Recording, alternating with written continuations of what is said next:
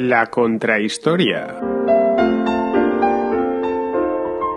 Un programa presentado y dirigido por Fernando Díaz Villanueva.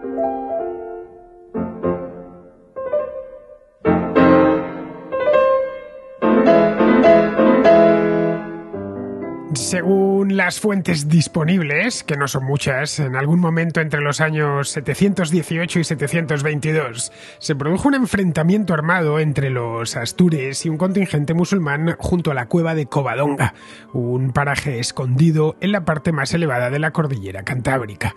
Según estas mismas fuentes, un aristócrata de origen godo llamado Pelayo acaudilló una revuelta contra Munuza, el gobernador musulmán de la región, enviado desde Córdoba para someter a todo el noroeste peninsular. Pelayo y sus hombres se alzaron con la victoria y con ello repelieron al invasor y ganaron de paso su independencia. Ese sería el origen del reino de Asturias, que iría configurándose en las décadas siguientes y que, con el correr del tiempo, ya en el siglo X, se transformaría en el reino de León. Las crónicas, como digo, no dan demasiada información, pero sí la suficiente como para hacerse una idea de en qué consistió la rebelión, cuándo se produjo, a qué se debió y cómo culminó. Estos relatos, escritos mucho tiempo después de librada la batalla, cabalgan entre la realidad y la leyenda. De ahí que sea complicado desentrañar lo que realmente sucedió en Covadonga solo unos diez años después de la batalla de Guadalete, que desencadenó el ocaso del reino visigodo. Durante siglos, esos relatos, a menudo enriquecidos, sirvieron como base que legitimaba a los reinos cristianos que fueron conformándose por toda la península posteriormente.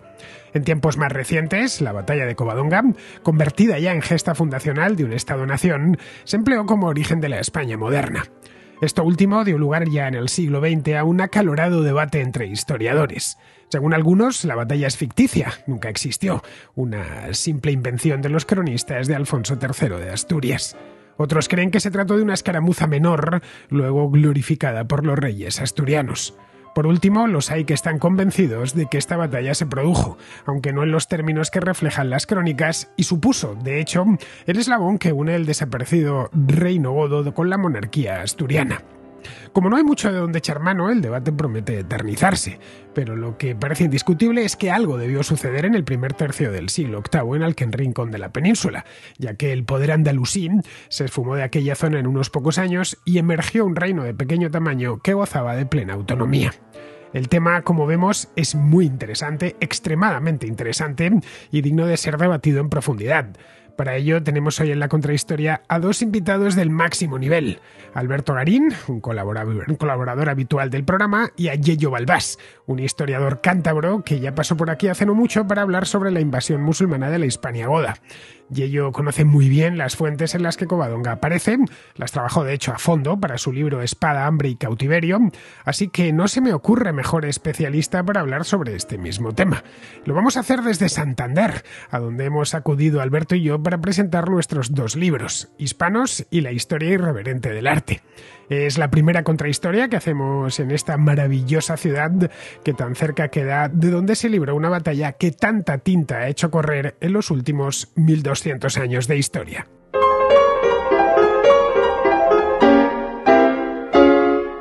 En algún momento entre el año 718 y el año 722 de nuestra era se produjo la batalla de Covadonga, una batalla de la que se ha hablado mucho, mucho, muchísimo, y no desde hace 5, 10 o incluso 100 años, sino desde hace muchísimo más tiempo.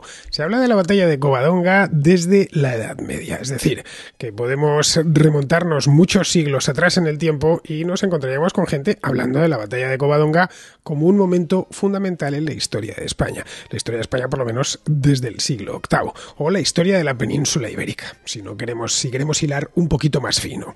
Bien, de la batalla de Covadonga se ha hablado mucho, no siempre bien, a veces extraordinariamente bien y otras veces extraordinariamente mal. Se ha dicho de ella un poco de todo, que no existió, que fue una simple escaramuza, que fue un motín fiscal, en fin, pocas batallas, eh, para no haber existido, han tenido, han levantado y despertado tanto debate sobre ella. Es una batalla que tenemos eh, muy mal de haberse producido. Es una batalla que tenemos muy mal documentada, como casi todo lo que sucedió en el siglo VIII, no solo en la península ibérica, sino en el resto del mundo, por supuesto en el resto de Europa. Estamos hablando de los siglos oscuros, que fueron estos que sucedieron a la caída del Imperio Romano de Occidente. Lo de siglos oscuros es como lo llaman en Inglaterra y en Alemania. En el sur de Europa, como ya ha demostrado aquí Alberto Garín en alguna contrahistoria, no fueron tan oscuros. Al contrario, en algunos aspectos fueron incluso luminosos. Pero bueno, en Asturias, Asturias está al norte de la península ibérica, esto lo digo para los eh, contraescuchas que están en Hispanoamérica, que no tienen la necesidad de conocer la geografía española. Bien, en aquella época sí que podemos hablar de una época oscura, desde luego mucho más oscura que cuatro o cinco siglos antes en pleno imperio romano. Bien, pues en, en esta época se produjo un enfrentamiento, eso parece claro, que tuvo unas, unas consecuencias eh, dramáticas en el curso de los acontecimientos a partir de ahí. Es una batalla, ya digo, de la que se ha escrito un montón y el que mejor ha escrito a mi juicio os lo acabo de comentar en la introducción, es Yeyo Albas. Yeyo Albas es la segunda vez que pasa por la contrahistoria. La primera lo hizo hace no mucho, hace unos meses, para hablar de la conquista islámica de Hispania, de la Hispania Goda. Esta vez eh, pasa por aquí desde su tierra natal, desde Santander, que hemos venido Alberto y yo a presentar hispanos y la, la historia irreverente del arte, y está en la contrahistoria para hablar de Covadonga, un tema que él conoce a fondo porque tiene una novela titulada No Covadonga, pero sí Covadónica, que es al parecer el nombre original de aquella cueva. Lo de Covadonga, pues viene de cova, del, latín. No es eh, un ensayo, sino una novela, insisto, pero una novela histórica, toda novela histórica que se precie, implica para el autor un nivel muy alto de investigación. Pues bien, tenemos aquí a Alberto y yo, que estamos de gira por España, tenemos a justo está, estamos en una mesa larga, una mesa larga de la habitación del hotel. Nos ha pasado lo mismo que en Salamanca, no tenían en el hotel donde grabar una contrahistoria, no nos hemos amilanado lo más mínimo, hemos venido a la habitación del hotel, una habitación individual, ¿eh? me estoy hablando, hemos tenido que buscar el sitio, sillas por ahí para podernos sentar los tres y en una mesita larga que tenemos estamos los tres. Primero Alberto, luego está Yello y luego estoy yo. Así que vamos a pasar primero con Alberto. Muy buenas, Alberto. Hola Fernando, como siempre es un gusto estar contigo y los contraescuches. Bien, y el segundo es eh, Yeyo. Yeyo es el invitado estrella de hoy. Muy buenas, Yeyo. Muy buenas. Bienvenido de nuevo, podría decir, porque pasaste por aquí hace no mucho tiempo y la verdad, pasaste por aquí, cortaste dos orejas y el rabo, porque tuviste tu programa, aquel que hicimos de la conquista musulmana, tuvo un éxito atronador. Eh, lo pudiste ver en los comentarios que había en Evox y en YouTube, ¿no? Sí, sí, desde luego. Me alegra mucho que, haya gente que le haya gustado y e intenté pues, hacer una exposición lo más amena posible. Hiciste una exposición amenísima, te lo garantizo. Y los que la escucharon, mm, vamos, me tienen que dar la razón y los que no lo hicieron, no tenéis más que ir al archivo y buscarlo. Eh, la mejor manera de buscar en el archivo de la contrahistoria es ir a mi página web, que es diazvillanueva.com, y en la caja de búsqueda que hay arriba, la parte de arriba de la página, ponéis eh, Yeyo Balbás, Yeyo con Y, ¿eh? y automáticamente os aparecerá aquel programa que mm, si os digo la verdad, ya os lo comenté en aquel entonces, eh, para mí fue un hallazgo, un hallazgo el libro en el que inspiré el programa y el autor, Gillo Balbás, a quien conocía este mismo año, precisamente cuando estaba leyendo ese libro. Es un libro que me recomendó José Sotochica, lo descargué, empecé a leerlo en el Kindle y a la vuelta de 20-25 páginas dije, pero bueno, qué, qué, maravilla tengo yo en las manos, cómo he podido pasar, eh, llevaba un año en las librerías, creo que un año, ¿no? ¿Cuándo lo sacaste? En 2022. Sí, Espada, Hambre y Cautiverio, el ensayo salió en mayo del 2022. Pues sí, yo lo leí en enero de este año, así que dije, como han pasado tantos meses y esto a mí se me ha pasado desapercibido. Me encantó el libro, es cuando, bueno, pues ya hablamos, ¿te acuerdas? Y, en fin, nos conocimos en Madrid, que fuimos a cenar con, eh, con Javier Rubio de Academia Play y faltaba por conocer a Alberto, que le ha conocido hoy en Santander.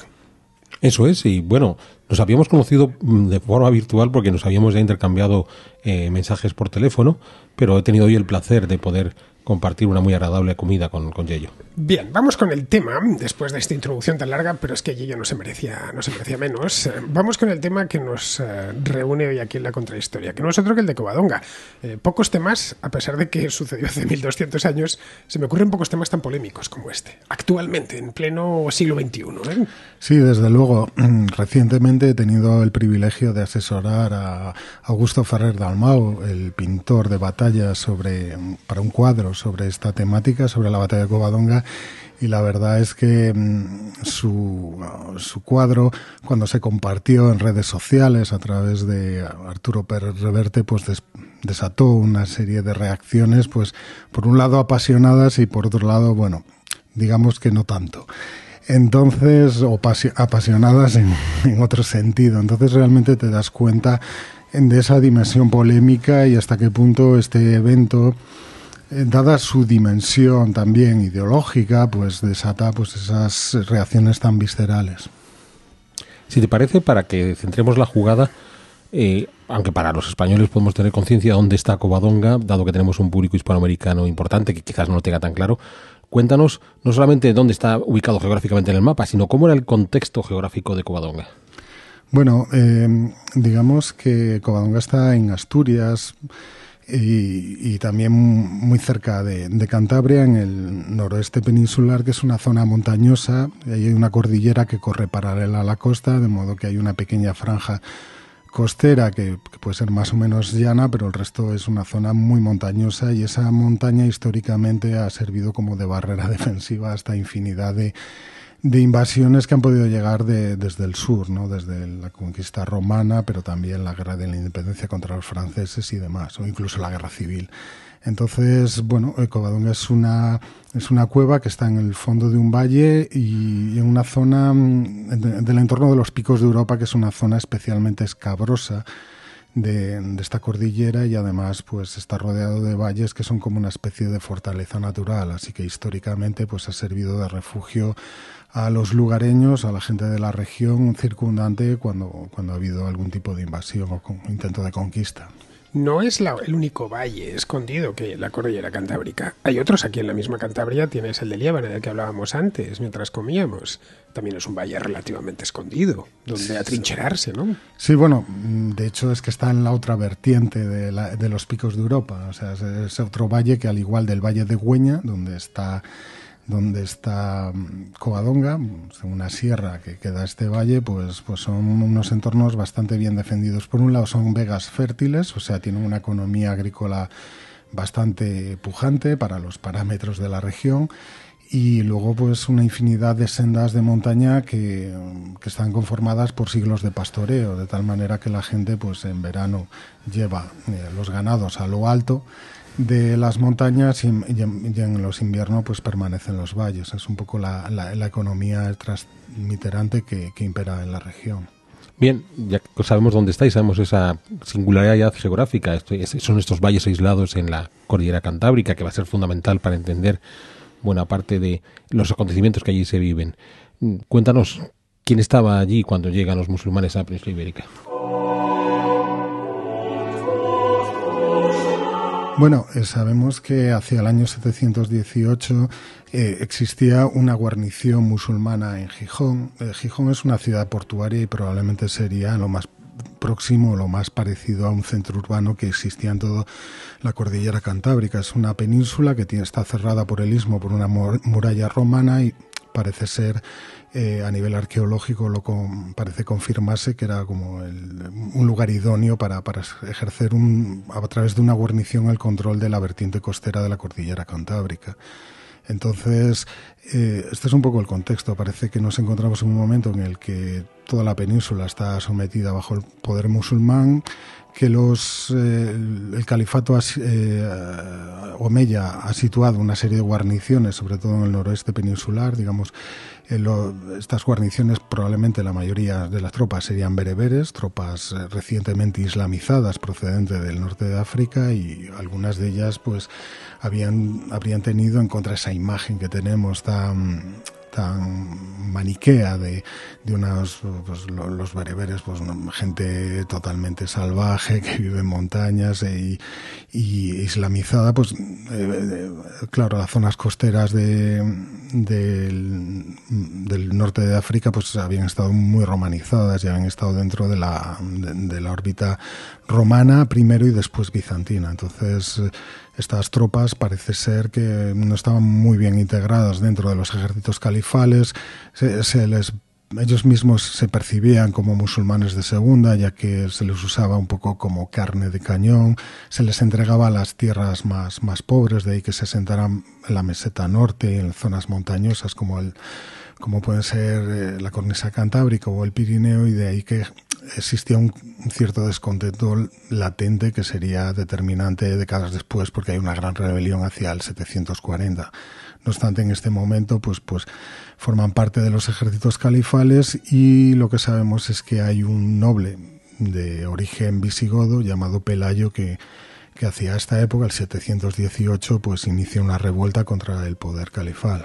Lo sabemos por una serie de fuentes que no son contemporáneas, es decir, no están, no datan del momento en el que suceden los acontecimientos, una serie de crónicas medievales de la, de la Alta Edad Media, por supuesto, pero posteriores en 100 años, en 160. 160 años, es decir, como si estuviéramos ahora contando algo que sucedió en torno al año 1860, la Guerra de África de Isabel II.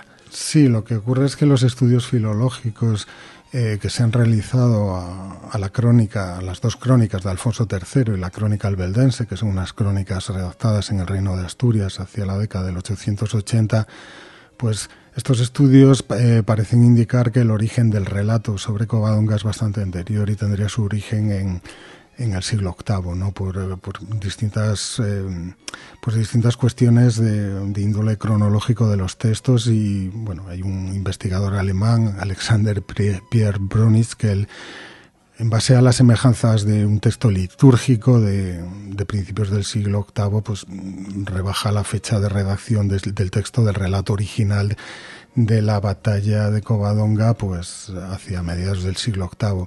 Hay que tener en cuenta que en esta época las crónicas no son, digamos, un cronista no se sentaba ante un pergamino en blanco a redactar un texto inédito, sino lo que hacía era muchas veces transcribir textos anteriores, de tal manera que pues es como una especie de una crónica puede ser una especie de colas de textos de distintas procedencias. ¿no? El, cronista se limita a repetir y a de algún modo validar ese, testimonio pasado. En este caso, pues sabemos que por una serie de diferencias formales pues, y lingüísticas que, que el relato de, de, Covadonga, pues inserto en la crónica de Alfonso III, pues tiene un origen anterior y que desde luego es independiente, porque es el, es el relato de mayor extensión, incluye el único diálogo que hay en toda la historiografía alto medieval hispana y, y, es en el único parte de la crónica de Alfonso III en el que de hecho el conflicto contra los musulmanes o contra la autoridad eh, de Córdoba se presenta en clave religiosa. El resto, pues, el resto de incursiones, de expediciones, pues parecen eh, enfocarse desde una, desde una perspectiva más bien política. Yo soy consciente, y es una de las críticas que más se ha hecho al mito de Covadonga, que, como tú acabas de señalar, en las fuentes que hoy tenemos son posteriores y muchas que son muy posteriores a la posible batalla de Covadonga. Acabas de señalar esta cuestión filológica, pero además de las fuentes cristianas hay fuentes musulmanas. Sí, lo que ocurre es que las fuentes musulmanas parecen originarse en un cronista del siglo X llamado Ahmed al-Razi, por lo que, en definitiva, Razi fue un, un cronista de una importancia enorme dentro de la historiografía andalusí y él elaboró una obra en la que empleó textos latinos y es muy probable que, el que su intencionalidad a, a, la hora de hablar sobre la roca de Pelayo, que es como, como la llama, Jabal Belay, pues sería crear una especie de contrarrelato de tal manera que si las fuentes cristianas eh, magnifican la dimensión de la batalla, pues a unos extremos pues exageradísimos y a veces ridículos, pues él lo minimiza en sentido opuesto. Pero claro, al hacerlo incurre en una una contradicción que es eh, hablar de la batalla o de la no batalla de Covadonga eh, supone admitir tácitamente la trascendencia del evento, pero, pero eso no tiene mucho sentido con que no hubiera una batalla.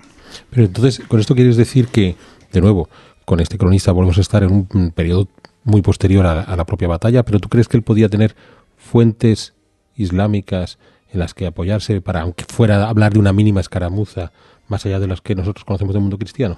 Mm, no, parece. De todos modos, lo que sí que me gustaría resaltar es que en general todas las eh, los tres primeros de siglos de historia andalusí en general los conocemos por fuentes que no son coetáneas. Quiero decir, se ha hablado, como ha dicho Fernando, que que, las crónicas alfonsíes que hablan sobre Covadonga son 160 años posteriores, pero esto no supone una excepción, sino más bien la, norma, ¿no? Porque, por ejemplo, las crónicas que, o los textos árabes que describen la conquista musulmana también son 150 años posteriores, de, de mediados o de la segunda mitad del siglo IX. Y, por ejemplo, gran parte de los del, del, conocimiento que tenemos de este periodo nos llega a través del Muktabis de Ibn Hayyan, que es del siglo XI, lo cual, pues evidentemente ya supone un, abismo cronológico incluso mayor, ¿no? Y en general, pues muchísimos eventos de estos dos, tres primeros siglos de historia andalusí nos llegan a través de cronistas del siglo XIII, XIV, como pueden ser Ibn Idari o Ibn Alatir. Por tanto, yo creo que de forma interesada se se ha, se ha hecho un especial énfasis en esta cuestión cuando en realidad no, no, es nada, no es nada que no fuera habitual en la historiografía del periodo. Y sin embargo, a la vez que me estás contando estas fuentes más tardías, sí hay una que no está tan alejada en el tiempo, que sin embargo no habla de Covadonga, que es la crónica mozárabe. Sí, lo que ocurre es que estas fuentes, la crónica mozárabe es una crónica redactada en el año 754, pero por un lado es extremadamente breve y no menciona eventos que conocemos por otras crónicas. Por ejemplo, cuando cuando se redactó esta crónica, el rey Alfonso I de Asturias estaba realizando unas incursiones en la meseta norte que conocemos por crónicas musulmanas como los Akbar Makmua y él no lo menciona. De hecho, se ha especulado con que el anónimo autor de Mozárabe fuera mm, de Córdoba o del Levante porque parece que el foco de interés en sus narraciones se centra en estas áreas geográficas. De hecho, más allá del del eje que podrían formar Zaragoza a Toledo no hacen, no hacen la más mínima alusión más que una oscura referencia a unos eventos que suceden en los Pirineos, pero en general yo creo que este argumento exilentio no tiene mucho peso porque, porque hay infinidad de, hechos que conocemos perfectamente por otras fuentes y que él no lo menciona. Por ejemplo, durante la conquista sabemos que en la Tarraconense había otro, un rival de Rodrigo, del rey Rodrigo, Agilas II, que se había proclamado rey y el anónimo mozárabe no lo menciona en ningún momento. Entonces, utilizar ese argumento me parece que no tiene demasiado peso sobre estas crónicas eh, asturianas es sobre lo que se construye la leyenda. Una leyenda, bueno, leyenda de versión canónica, llamémosla así, que es la que termina dominando el relato principal, ya en la Baja de Media y luego posteriormente la Edad Moderna y hasta que llega hasta nuestros días. En las dos se utiliza evidentemente las crónicas cristianas, no la crónica musulmana. Hay una diferencia además de soldados eh, increíble, ¿no? Los eh, al Razi habla creo que son de 300 soldados y los otros de 180.000, ¿no? Una, una diferencia bestial. Eh, los números de tropas eh, que emplean los cronistas de esta época, sobre todo al hablar de los ejércitos enemigos, suelen ser o suelen ser de tipo simbólico, más que nada, pues que realmente los cronistas de la época no tenían registros fiables para poder hacer eh, precisiones de este tipo, ¿no? Entonces, por ejemplo, eh, 185.000 parece ser que es un ejército, el número coincide con, con un ejército que, que asedió Jerusalén, según relata el Antiguo Testamento, ¿no? Entonces, parece que, que este origen tiene un origen puramente simbólico y del mismo modo, pues 300 es un número que se repite eh, infinidad de veces. Termópilas, ¿no? Sí, Termópilas, según redacta, eh, relata Heródoto, pero también, por ejemplo, 300 son los caballeros que, según el cantar de Miocid, acompañaron a Rodrigo Díaz al destierro. Es un, es un número que, que aparece frecuentemente referenciado y yo, por ejemplo, en mi libro pues menciono más de 11 casos.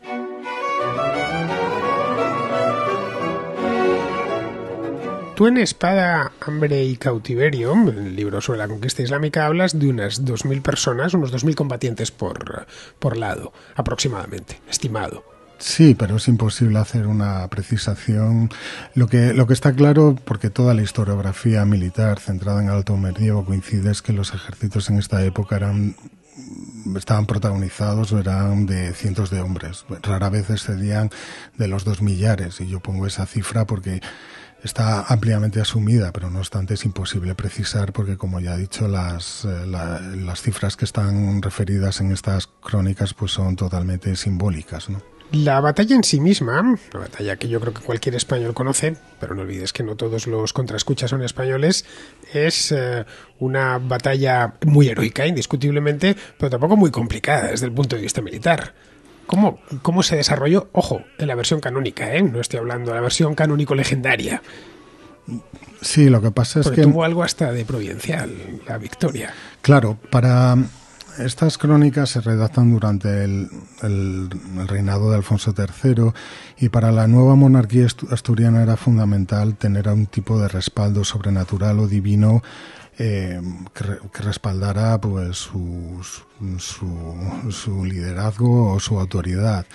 Digamos que según la, el pensamiento providencial propio de, ya, ya desde época de Agustín de Hipona y demás, pues eh, digamos no existe autoridad legítima que no que no proceda de Dios y de, de, poniendo una serie de, de milagros en, en, el relato de la batalla, pues eh, la mano de Dios interviene para, para ayudar a los que ostentan la causa legítima y entonces esto es un recurso bastante habitual en... Pero toda la reconquista está plagada de estas intervenciones divinas. Sí, hay, hay, más de 20 apariciones de Santiago el apóstol en, batallas del medievo hispano y bueno, en el mundo musulmán también son bastante frecuentes, aunque curiosamente parece que, que son más habituales las profecías, ¿no? De algún modo la divinidad se pone en contacto con el general musulmán previamente de la batalla y le, le informa que, que, va a obtener la victoria. De esta manera, pues, bueno, el, esto también deja claro que, que, la victoria se ha obtenido por el designio divino.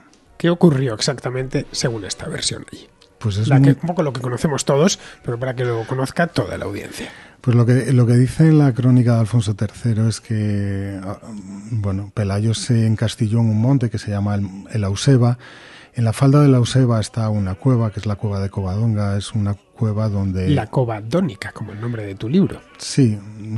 Eh, sí, probablemente sea cueva de la fuente. Onna en celta es una raíz que significa fuente, río, y efectivamente en la cueva nace un río, que además se llamaba previamente hoy reinazo, pero antes Deva, y Deva significa diosa literalmente en celta. Entonces, bueno, era muy habitual estas divinidades acuáticas, no solo en la región celta, sino que fueron también asimiladas primero por eh, primero por el, el, la religión romana que le identificaba a estas deidades como las ninfas o como Diana y después muchas veces se asimilaron o se identificaron con la Virgen por eso en el libro propongo yo creo que de una forma bastante fundada que, este santuario mariano que, que hay en Covadónica pues eh, tenga su origen en una divinidad pagana pero aquí hay un me gustaría traer un elemento a lo que acabas de contarnos para entender el, el relato de la batalla. Eh, nos has dicho que no podemos tener certitud de la cantidad de personas que intervienen, si son unos cientos o, o dos miles.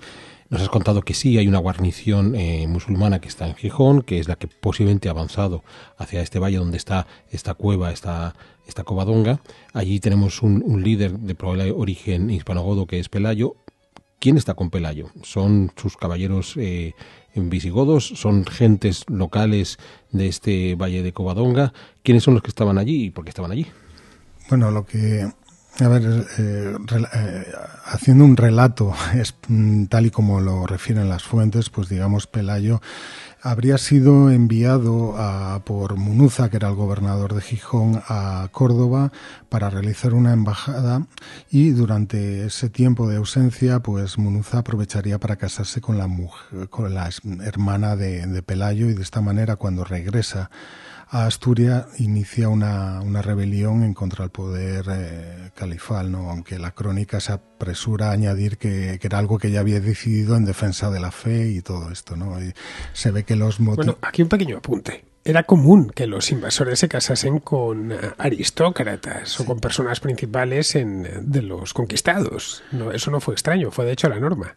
Sí, era puede tener un fondo de verdad de esta historia. Yo creo que sí. A ver, eh, Egilo, la viuda del rey Rodrigo, muerto en la mal llamada batalla de Guadalete, pues eh, se desposó con Abdalaziz, que era hijo de Musa ibn Nusair, el conquistador de Al-Ándalus, eh, de Hispania. Entonces, Estos enlaces eran muy habituales y de hecho pues lo que conseguían las élites hispanogodas era mantener un cierto status quo dentro del nuevo régimen y a los conquistadores también les convenían en la medida que eso de algún modo les permitía legitimar su posición y, contar con, con, con, vínculos y clientela dentro de los territorios recién conquistados. Entonces, en ese sentido no, no era nada inusual. Lo que pasa es que con el paso del tiempo, digamos, eh, los árabes tenían un estricto linaje patrilineal, agnático, en el que realmente la mujer eh, tenía muy poco peso. Entonces, al final, todas las dotes y las herencias que les llegaban por esta vía femenina no salían de los linajes árabes y al final pues eran unas uniones bastante desiguales porque un musulmán según la Sharia podía casarse con cuatro cristianas pero un cristiano no podía casarse con una musulmana y solo podía tener una esposa. Solo que aquí, claro, y esto es algo que Soto Chica nos, nos recuerda continuamente, estamos en esta fase inicial del mundo islámico donde este tipo de tradiciones no estaban tan bien consolidadas, de modo que sí que es posible encontrar a un líder musulmán que sabe que al unirse con parte de la aristocracia local, y ya digo, todavía con, sin terminar de consolidar todo ese concepto de la Sharia, está adquiriendo una serie de privilegios, aunque sea a través de su esposa.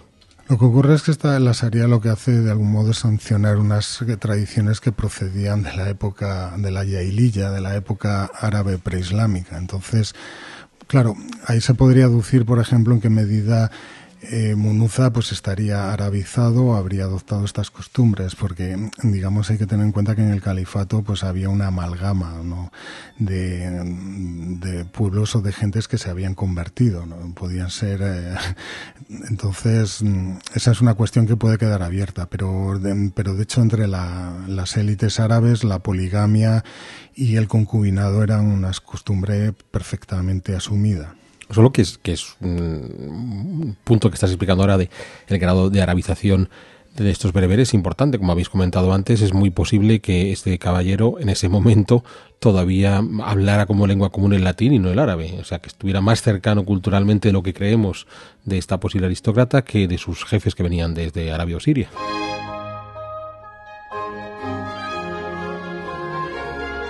A ver, una de las tesis que defiendo en mi libro es que debemos eh, abandonar estas visiones o estos discursos históricos tan positivistas en el sentido de tener muchas certidumbres.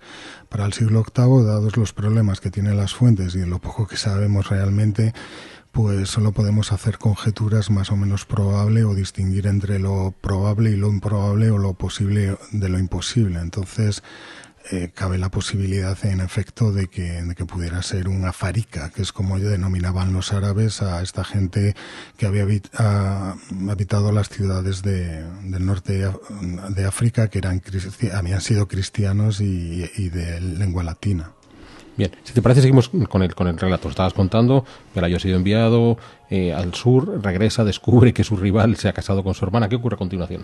Pues parece que Pelayo intentó resolver en un primer momento la situación de forma pactada, porque lo que dice la crónica de Alfonso III es que Munuza intentó capturarlo a, eh, través de, un, una traición, una celada en un pueblo llamado Brece, pero eh, esta traición fue delatado por un amigo de de Pelayo de tal modo que, que, consigue huir a uña de caballo, cruzar el río Piloña, un pequeño río, y llegar hasta las inmediaciones de, de los picos de Europa, el Valle de Güeña, probablemente cerca de Cangas de Onís, que sería la capital inicial del reino asturiano, y ahí eh, se reunió con una serie de gente que, que, acudía a un concejo, probablemente se esté refiriendo de unas asambleas de, de, valle o de aldea que se realizaban en el norte peninsular.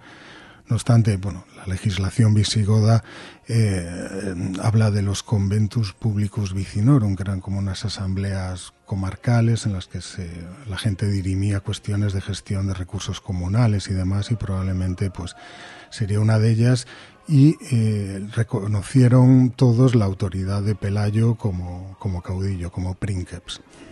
Aquí, te voy a hacer una pregunta que puede parecer contradictoria con lo que nos acabas de contar. Eh, en efecto, lo estás diciendo, es posible que, mm, siguiendo la leyenda eh, o, el, relato de las fuentes, Pelayo se encuentra con esta gente que está eh, a punto de reunirse en un consejo, que es un modelo que puede ajustarse a la legislación hispanogoda, pero ¿hasta qué punto el Estado hispanogodo previo a la conquista islámica tenía capacidad de dominar estos valles perdidos de la cordillera cantábrica. Es decir, podemos estar dentro de ese modelo jurídico que estás explicando en el mundo hispano-godo, o quizás estamos en una, en una parte del reino que ya había quedado fuera de la institucionalidad estatal, que se han encontrado unos nuevos invasores, han pasado una serie de años, el día que llegaron sabían quiénes eran estos bereberes, al cabo de estos 7, 8, 10, 11 años ya saben quiénes son, y entonces claro, se encuentran a un militar del antiguo reino que viene con ganas de pelearse contra los invasores y quizás esta gente que podía haber dado la espalda al Estado visigodo encuentran un buen líder militar. Bueno, lo que lo que dicen las crónicas, aunque también hay problemas sobre el linaje de Pelayos que había sido hijo de Fabila, eh, un duque provincial. Digamos, los, eh, el reino visigodo había creado unas demarcaciones provinciales al mando del dux provinciae correspondiente que estaban militarizadas y probablemente estos duques habrían establecido relaciones de patrocinio con las élites locales y, probablemente también linajes mixtos.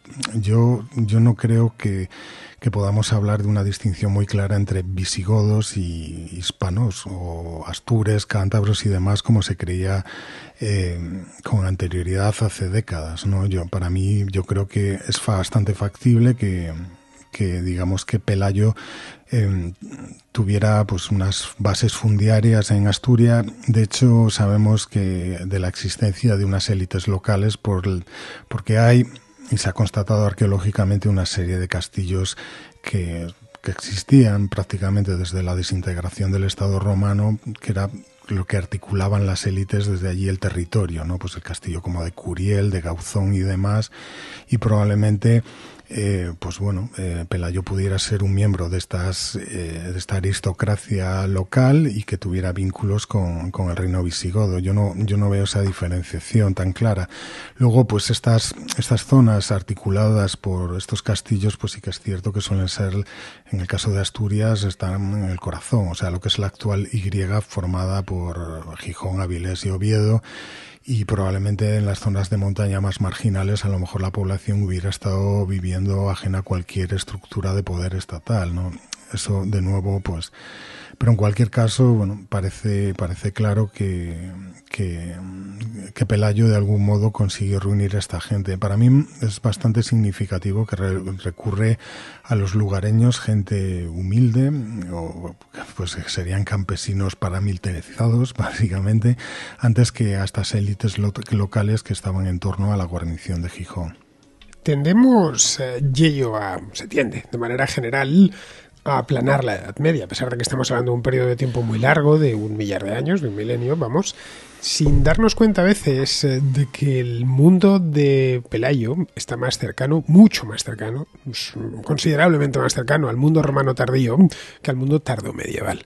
Con esto qué quiero decir que a menudo en el imaginario colectivo se tiende a ver la reconquista como esas fiestas de moros y cristianos tan graciosas que hay en el Levante peninsular, ¿no? Vemos a los moros eh, enturbantados, ¿no? Con unas cimitarras, mientras que los cristianos van vestidos de caballeros del temple, no no era así. Evidentemente, los bereberes que cruzan el estrecho, bueno, los invasores que cruzan el estrecho, lo cuentas a tu chica, bien, ¿no? Son bizantinos, los marinos que. Eh, bizantinos egipcios, los bizantinos que cruzan la flota de Tarik hasta la península ibérica, es decir, eh, cristianos, esencialmente, mientras que los que cruzan del norte de África, esos bereberes, no son equiparables a los bereberes de cuatro, cinco o seis siglos más tarde. Son, como bien decías antes, gente que seguramente hablaba latín y que iba vestida como los godos de Hispania o muy similar. Vamos, que pertenecían entonces a un mundo unificado, cosa que no sucedería cinco siglos más tarde, bueno, que cinco y tres siglos más tarde ya no sucedería.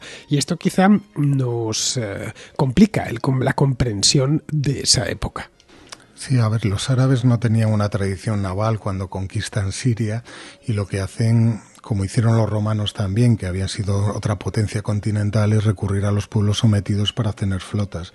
En el caso de, del califato omeya recurren a coptos, egipcios, y además esto lo conocemos muy bien, este reclutamiento, porque hay papiros y documentos de la época conservados que nos permiten conocer cómo era esta forma de reclutamiento, y también sirios, sobre todo. Y yo creo que también, pues bueno, las ciudades de la antigua Tinquitana Mauritania Tingitana, perdón, pues mm, probablemente allí habría una tradición naval y, y Tarik podría reunir barcos de, de allí, pero claro, de nuevo pues tenemos que alejarnos de esa idea de, de bueno pueblos seminómadas con turbantes porque de hecho el turbante en al-Ándalus solo se difunde en, en, época almohade ya en el siglo XII pueblos seminómadas con turbante y que hablan árabe son pocos los que hablan árabe que llegan a la península ibérica en el primer momento algunos generales y pare usted de contar Hombre, es difícil de, de determinar lo que... Estamos muy lejos, no olvides. Sí, pero por ejemplo los sellos de plomo, que son se han conservado más de 150 sellos que servían para, para bueno, de algún modo lacrar pues, las sacas con el botín de guerra, pues están con inscripciones en árabe, en, con el cúfico. Porque iban dirigidos a gente que entendía ese idioma. Bueno, es que los romanos la, al principio de la conquista de Hispania también utilizan el latín, a pesar de que los hispanos de la época todavía no lo conocen.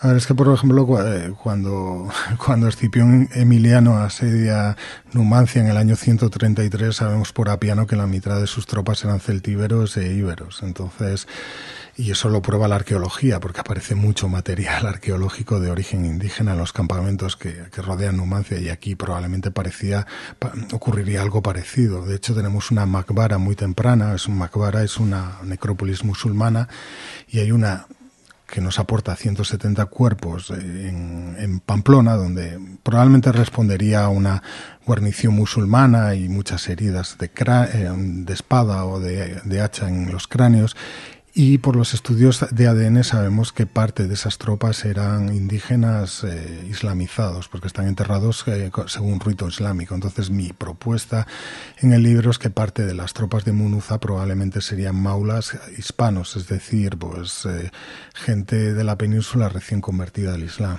Y que se la hayan llevado allí para la ocasión.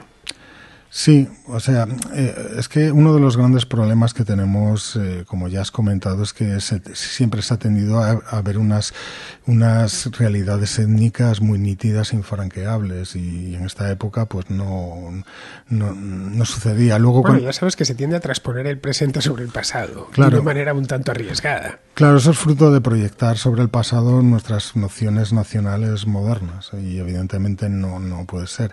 En este momento, pues... Eh, el proceso de arabización y islamización estaba dando sus primeros pasos. Entonces, buena parte de la población que, habitaba en el califato y de las tropas, pues, eh, hablaban poco árabe y no estaban, no, no, estaban islamizadas. De hecho, pues se estima que hacia el año 1000, en el creciente fértil, pues casi la mitad de la población seguiría siendo cristiana. Entonces, tenemos que verlo de nuevo esto como procesos de largo recorrido. Ese dato que das yo creo que es fundamental, en torno al año 1000. Hmm. Llevaban 400 años ya hmm. allí los musulmanes. Y en torno al año 1000, un porcentaje nada despreciable de la población todavía no hablaba árabe. Algo similar sucedía en el Andalus, lo hemos comentado aquí en la contrahistoria en más de una ocasión, que el proceso de arabización, es decir, de empleo de la lengua árabe, se demoró unos cuantos siglos. De hecho, los mozárabes, eh, la lengua mozárabe ya extinta, nos da fe de eso mismo. Nos encontramos una lengua romance escrita en aljamía, en, caracteres árabes, vamos, para que nos entendamos, pero que en cambio si lo transcribimos al, al alfabeto latino lo entendemos más o menos bien. Sí, lo que ocurre es que esto, estos procesos, claro, al ser las crónicas redactadas por la élite árabe pues tienen un fuerte sesgo, etnocéntrico y, por ejemplo, todas estas crónicas que nos hablan del siglo IX apenas mencionan a, a cristianos, aunque en realidad pues debían de ser pues el 90% de la población peninsular. Y claro, esto genera unas realidades que son desde un punto de vista textual, según los textos de la época, casi invisibles, ¿no? Es como pues en el mundo romano pasa también. De hecho, pues bueno, tendemos a tener un conocimiento bastante bueno de la forma de vida de las élites, pero la gente común, los campesinos, incluso las mujeres, pues están ocultos por un velo, ¿no? Respecto a la datación, ya sabes que la, la, fecha habitual que se da es el año 718, en otros utilizan el año 722. La verdad es que da un poco igual. Es en torno al año 720 cuando se produce eso. Sí, a ver, la crónica... Es decir, unos 10 años más o menos mm, desde el momento en el que se produce la conquista. todos son especulaciones. La crónica de Alfonso III pues nos dice que Pelayo falleció en el año 737 y que reinó durante 19 años. Entonces, eh, a partir de ahí, realizando una resta, pues se ha supuesto que su rebelión se inició o se reconoció su autoridad en el 718, que eso coincide también con algunas fechas que dan eh, crónicas árabes. Eh, lo que ocurre es que, bueno, Claudio Sánchez Albornoz mm, trasladó la fecha de la batalla en el año 722 porque hay una compilación biográfica árabe que sitúa la muerte de un caudillo musulmán que vino al Andalus a hacer el yihad en esa fecha, en mayo del 722. Y Claudio Sánchez Albornoz supuso que eso solo pudo ocurrir en, en Asturias, en Covadonga. Lo que ocurre es que sabemos que que en esa época pues los eh, el califato todavía tenía conflictos con en el sur de Francia en la Septimania que estaba conquistando los últimos restos del reino visigodo y este territorio pues formaba parte de Al-Ándalus no para los para los cronistas y para los geógrafos árabes eh, pues Narbona es una ciudad andalusí.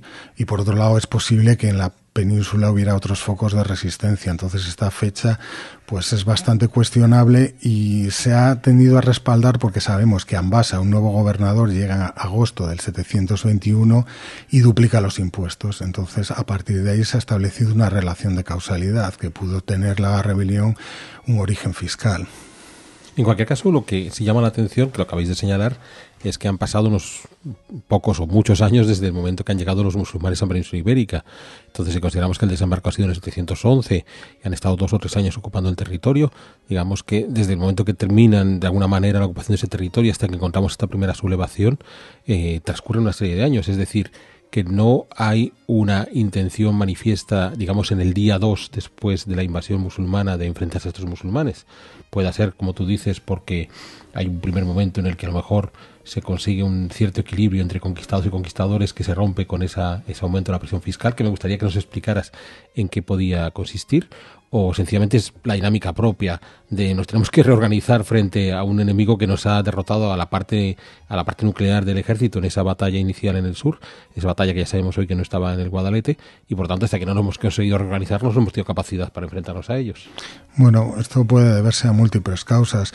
En general, eh, esta, digamos, esta política fiscal era coherente con todo lo que se estaba desarrollando en todo el califato. Digamos que en el año 717-718 los musulmanes sufren un duro revés cuando tratan de asediar y conquistar Constantinopla y esto hace que, que, bueno se produzcan problemas fiscales eh, a la hora de mantener el enorme ejército sirio sobre todo. Entonces esto genera unas subidas fiscales en diversos puntos de, la geografía del califato y que a su vez generan revueltas. En ese caso la rebelión de Pelayo no sería algo insólito inusual sino que se produjeron más. O sea incluso en territorios tan alejados como es eh, el Sind o sea prácticamente el extremo oriental del imperio islámico.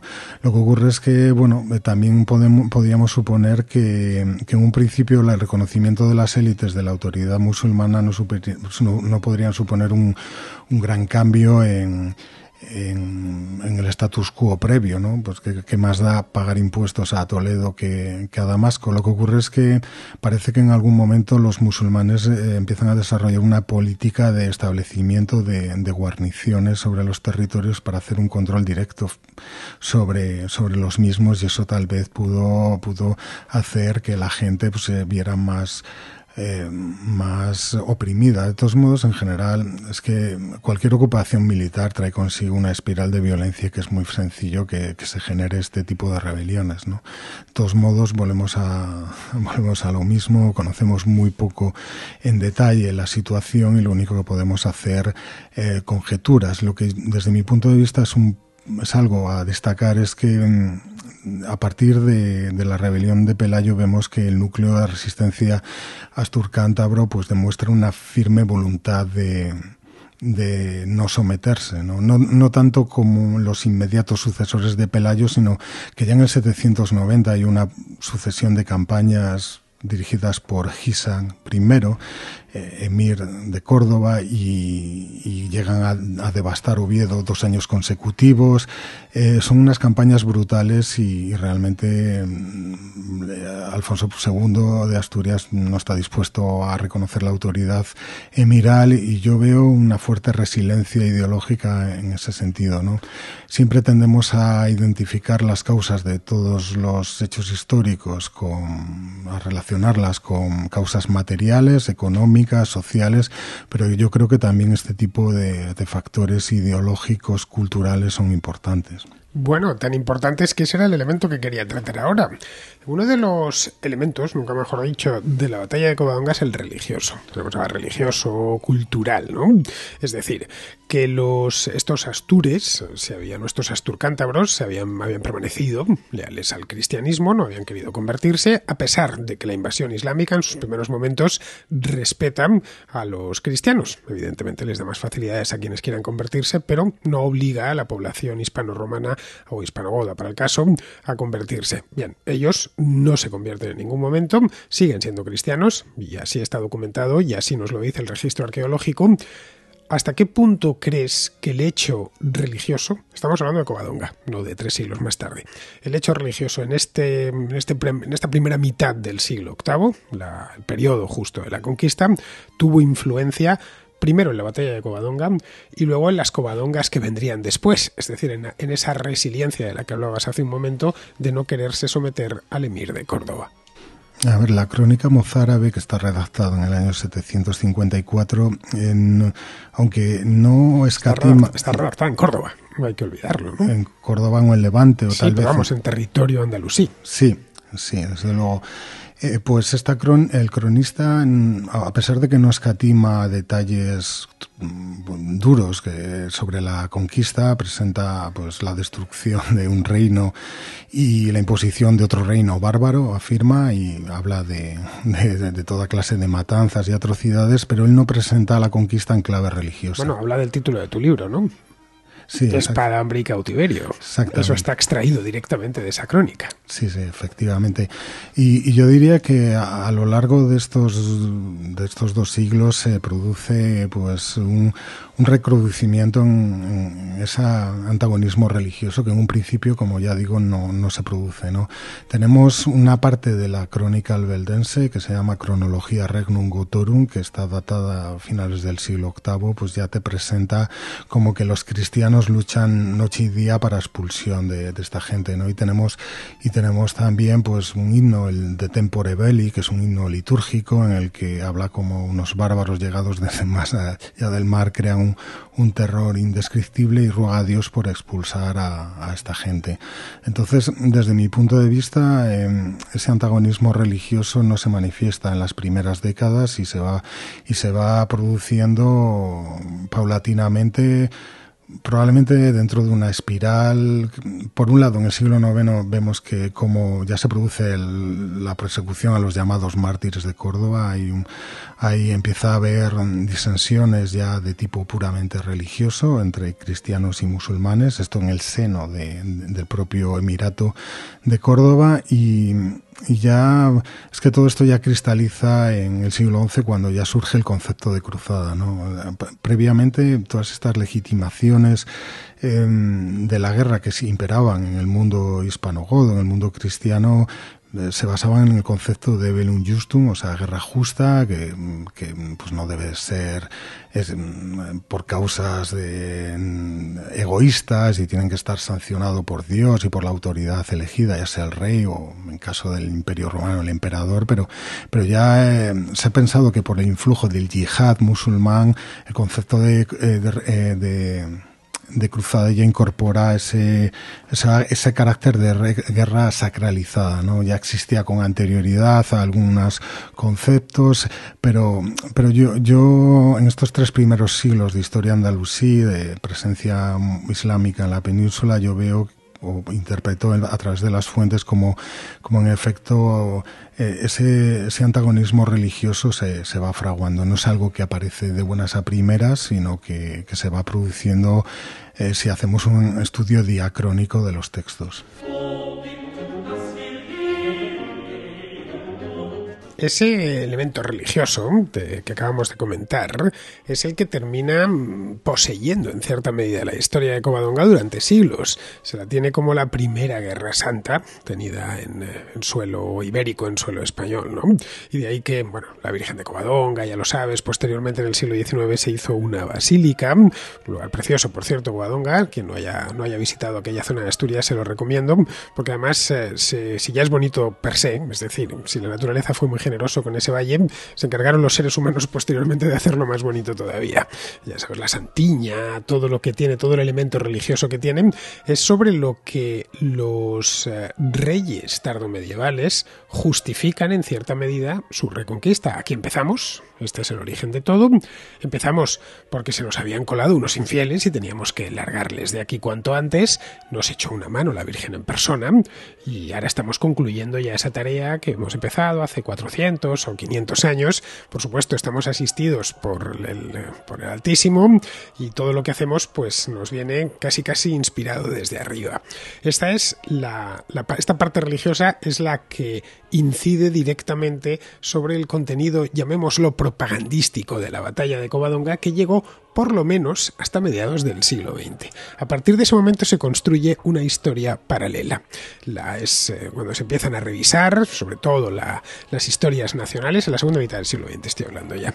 Ahora mismo estamos todavía en esa revisión, no hemos, no hemos cambiado mucho, y se empieza incluso negando la propia batalla de Covadonga, eh, diciendo que no existía, o que había sido un asuntillo menor, o que no tuvo ninguna importancia, o que, en fin, algunos llegan a decir que realmente mm, lo que pasó en Covadonga no, no movió más allá de unos pocos muertos un día en torno al año 720 y la trascendencia fue directamente nula, que eso obedeció a otro tipo de procesos muy diferentes en los que ni la religión tuvo importancia ni, ni nada de nada. Vamos, que el Covadonga, al igual que durante siglos se la erigió como un momento mágico de fundación nacional, luego se hizo todo lo contrario. Y así, ya digo, hasta el momento presente, porque hace no demasiado tiempo, son unos meses, tú tuviste un linchamiento, un linchamiento público, por cierto, en la red social Twitter, que es, eh, en fin, hogar de toda toxicidad posible, precisamente porque habías, como has dicho antes, colaborado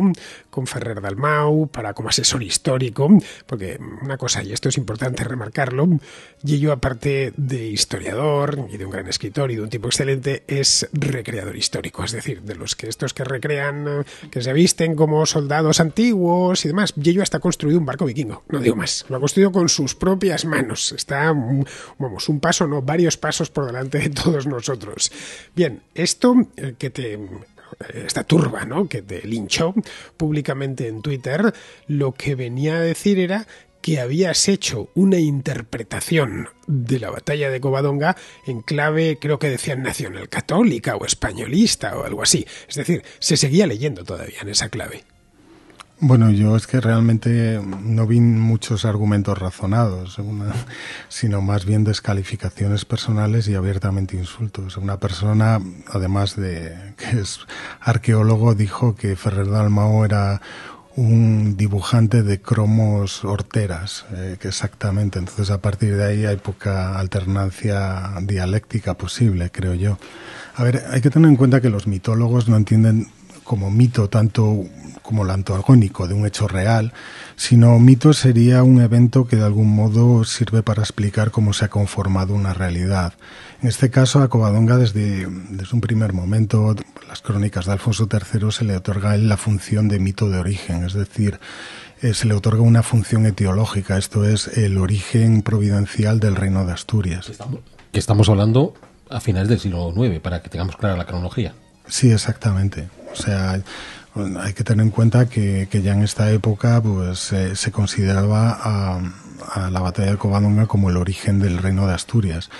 Eh, la intervención de la Virgen eh, no aparece o no es mencionada ya hasta el siglo XII. Hay que tener en cuenta que el culto mariano, el culto a la Virgen, eh, comienza a iniciarse en el siglo XII-XIII y es la crónica silense, una crónica redactada en León en el siglo XII cuando hace por, primera vez referencia a la Virgen. Las crónicas de Alfonso III no mencionan en ningún momento al culto mariano y por cierto es Santina, no Santiña. si vas a Asturias, a son cosas de madrileños, no los tomas del todo en serio.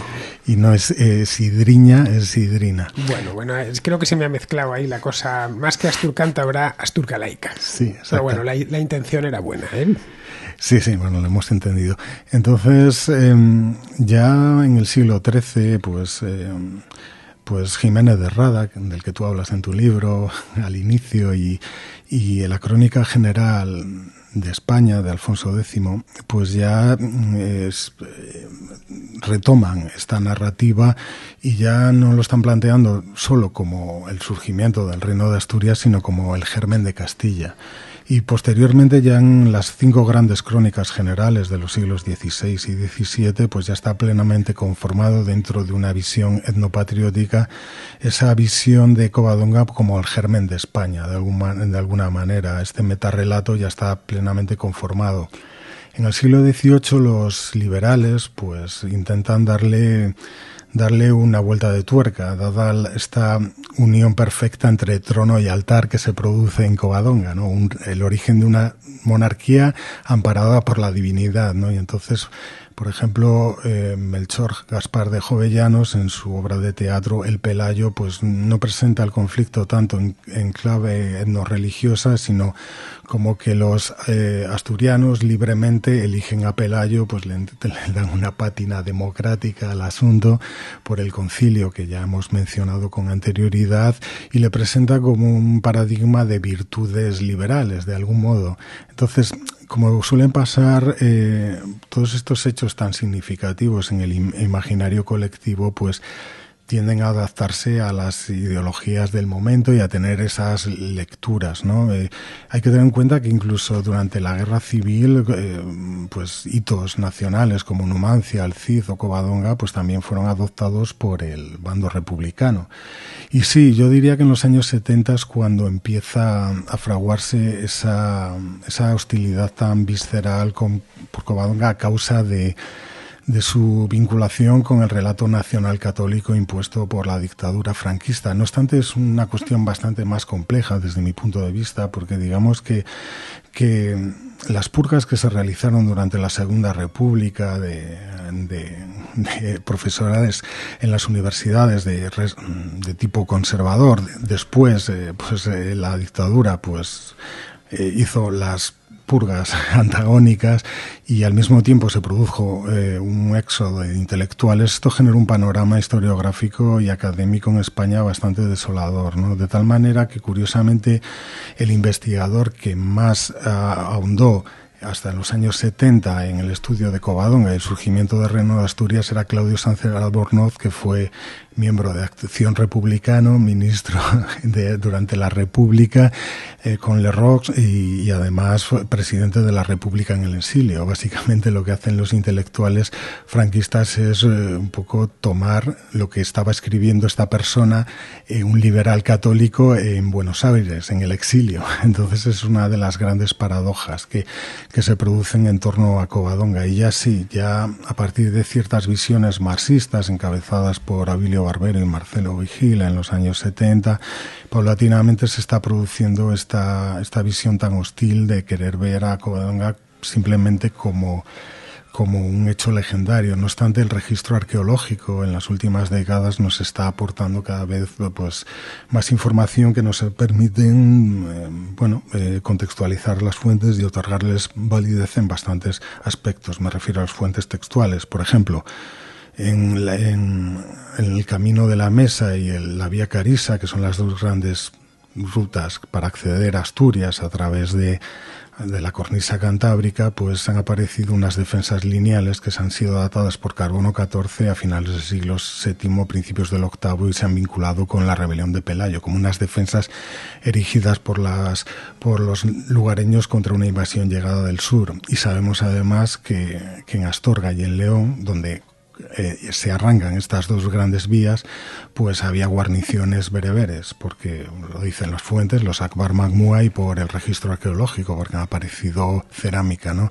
Entonces, eh, yo he querido para mi libro aprovechar esta nueva información para, para, hacer una interpretación que no solo sea textual, o sea, no solo a partir de unos textos que tienen infinidad de problemas, como ya hemos expuesto, sino también por una realidad material, física y tangible. Lo que ocurre es que, bueno, en Twitter, pues este tipo de razonamientos mm, importan muy poco. De hecho, en, esta polémica fue curioso ver cómo había gente, historiadores en algún caso, que esgrimían un artículo de, de César García de Castro como respaldo bibliográfico para afirmar que Covadonga era una leyenda, cuando García de Castro es, eh, en ese artículo defiende la tesis exactamente de contraria y de hecho como director del Museo Arqueológico de Asturias hace poco ha organizado una exposición que se titula Covadonga, las huellas y los relatos. Bueno, leerían el título y a partir de ahí ya sacarían conclusiones, ¿no? O pasa a veces, algunos que solo se leen la solapa del libro y dicen, ya está, este libro cuenta tal cosa porque lo pone en la solapa. Sí, pero ni siquiera eso. Yo creo que la gente está eh, se, se encomienda a San Google y lo primero que le sale, pues pues lo usa para respaldar sin necesidad de, de habérselo leído. Respaldan sus ideas pues, en base a esta estrategia. Lo que ocurre es que al final esto genera unos debates en Twitter totalmente psicotropizados, porque hay gente pues que, que, que está afirmando cosas que, que son pues pura fantasía. Yo te voy a decir aquello de haga como yo no se meta en política, haga como yo no se meta en Twitter. Y no solo como yo, sino también como Alberto, que no se mete en Twitter a discutir. Él claro. entendió desde el principio que aquel, aquel, no era el foro. O sea, la cuestión está en que hay otra forma de manejar Twitter, que es buscar perfiles eh, que te enriquecen y que son agradables y disfrutar con ellos, sin meterte en, en estas varas polémicas que además son muy efímeras. Eh, parece que se nos va la vida en ello y a las 24 horas ya, ya, ya, ya, ya ha pasado de moda y no tiene ningún valor.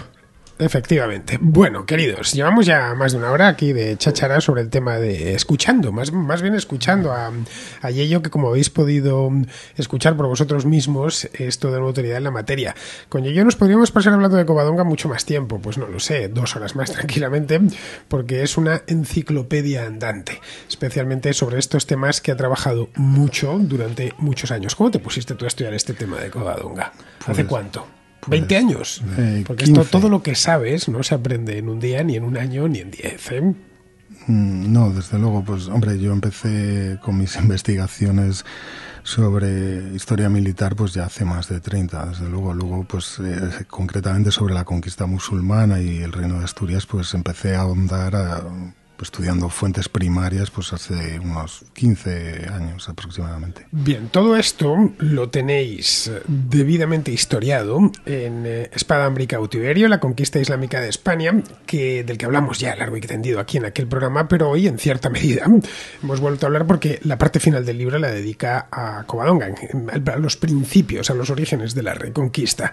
Luego además tienes una novela, una novela sobre que se llama así Covadónica. Sí. Eh, Ahí novelaste, que no es mala manera de acceder al lector. Sí. ¿Te tomaste muchas licencias? Desde luego que sí. A ver, una novela al final simplemente es un compromiso entre los datos históricos y, y, y aquello que necesitas subvertir o adornar para, para, por motivos expresivos. Yo, por ejemplo, en Covadonga meto a Opas, eh, la crónica de Alfonso III. El obispo de Opas que era un traidor, ¿no? Según la leyenda. Sí, lo que les pidió rendirse. Les dijo, rendíos que no tenéis nada que hacer contra estos. Sí, pero es más que improbable que Opas estuviera allí, pero yo no quería renunciar a un personaje tan injundioso y lo metí. Lo que sí es que al final de la novela, en un apartado de apuntes históricos, pues señalo que es ficción y que es real o que es probable y en que me baso para establecer ciertas hipótesis. Bueno, no deja de ser una novela. Una novela como una película. Las licencias están más que permitidas. Pero bueno, os lo voy a poner, por supuesto el libro de Espada América Cautiverio lo tenéis, en, os lo dejo en, el, en la descripción del programa, ya os lo dejé la última vez, os lo vuelvo a dejar, y también, naturalmente, los que quieran aventurarse en un novelón, que es Covadónica, pues se lo voy a dejar también en el enlace. Pues nada, ha sido un placer tenerte hoy en la contrahistoria. Aquí una contrahistoria santanderina, la primera. Y espero que no sea la última. Yo espero también que no sea la última porque esta ciudad es una ciudad fantástica. Bueno, Alberto. Pues Una vez más, muchas gracias por invitarme a la, contrahistoria y sobre todo hoy que ha sido más placentera que nunca pudiendo compartir con Yello. Efectivamente, hoy ha sido un gusto estar aquí. Hemos estado sentados los dos, uno a cada lado de Yello, escuchándole porque, como os decía, es un libro abierto completamente. Solo hemos compartido con vosotros una hora, hora y poco, pero que llevamos hablando de esta historia de Covadonga, pues no lo sé, desde que hemos llegado, desde que nos hemos bajado del autobús, nos mm. hemos puesto a hablar a lo largo de toda la Prácticamente, desde que nos hemos encontrado con él, ha comenzado el interrogatorio, que espero que pueda seguir ahora a seguir ahora, por supuesto. Así que nada, queridos amigos, con esto terminamos ya la contrahistoria de hoy. Ha sido, como siempre, un placer teneros al otro lado del micrófono y os emplazo a que regreséis por aquí en la próxima contrahistoria.